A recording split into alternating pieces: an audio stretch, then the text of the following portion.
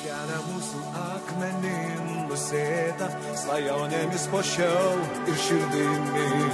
Žinau, kad niekad, niekad nenorėjau dar kartą išsiskirti šitam keliui, bet deginančias viltis dar negesta ir mano upės niekam neužtenka kitam gyvenime.